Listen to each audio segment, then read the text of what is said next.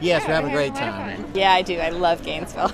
We're here in the beautiful city of Gainesville at the Downtown Arts Festival for 2009. And you're watching Getting to Know Gainesville. Welcome to the 28th Annual Downtown Festival and Art Show, the biggest event for downtown Gainesville all year long. and it's held in historic downtown Gainesville from the Hippodrome State Theater all the way to City Hall, including University Avenue.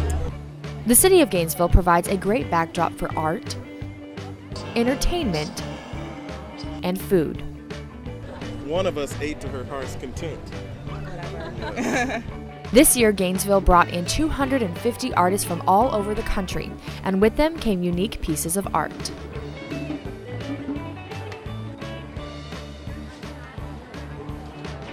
These are a collection of photographs that I've taken over the years and places I've been.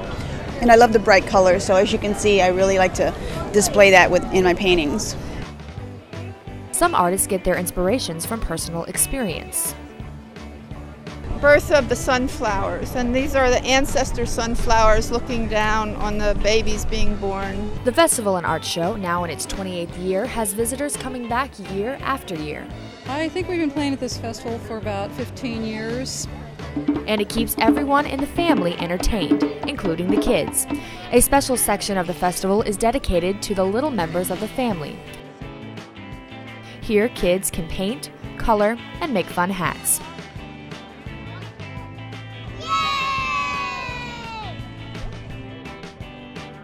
The Downtown Festival and Art Show really has something for everyone. This artist even stays green while she works. I save everything on my table. I don't throw anything away. And uh, these are copper pieces that I solder. These are blown glass sides that I put on there for extra. These are little stringers for the hair. So, whether you're in the mood for food, art, or just a good time, the Downtown Festival and Art Show is for you.